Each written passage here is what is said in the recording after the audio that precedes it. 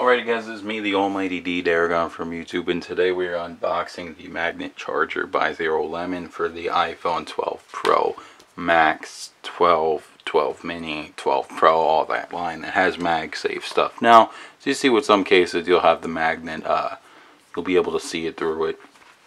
Uh, there's a third party case, so it also does support MagSafe too, so that's a great thing about it. I do also have the leather one, but since I've been rocking this new one lately, I haven't really used anything else. So, gonna just unbox this real quick, and uh, we're gonna gonna see.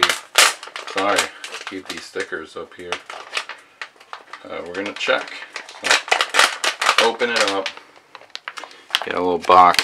Should be similar. I already have an Apple MagSafe one, so there's all this stuff. There's the packaging. It comes in Zero Lemon. Does not waste any time designing anything. Uh, but that's fine. Uh, here is the official Apple MagSafe for those wondering. Uh, I do not have an outlet next to me uh, right now. Though, let me see if my laptop charger could show if these are working. Uh, we'll find out a second. Okay, I guess because my laptop's dead. Uh, but right now I'm going to show if the magnet is working just like that, as well as if it has the Apple notifications. So, looks a little similar, seen pictures online. I figured I'd give it a shot. Alrighty, sorry about that guys, got interrupted for a second. Anyway, so the packaging, you know, comes with the warranty card. Uh, it comes with a viewer thing which says on it that I thought was interesting since I got interrupted, I read it. Uh, it flashes red somewhere, so that's interesting. Uh, if it overheats, unplug it, and it's a 10 foot cable. Um, but yeah, if it's telling us if it overheats, that's not the best sign. Uh, as well as that is a 12 month guarantee warranty. So uh, I was able to actually charge my laptop so I could show you guys how the regular MagSafe works in case you've never seen a video on it before.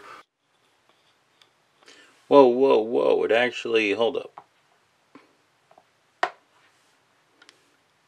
It actually does the MagSafe charger indicator. And you can see that it's officially it because look how long, the, I don't know what happened the first time. But it actually does the notification. That is interesting. I thought it wasn't compatible like that. Wow. I was wrong or I guess the first time, you know, you gotta delay it a little bit. So it does work like apples.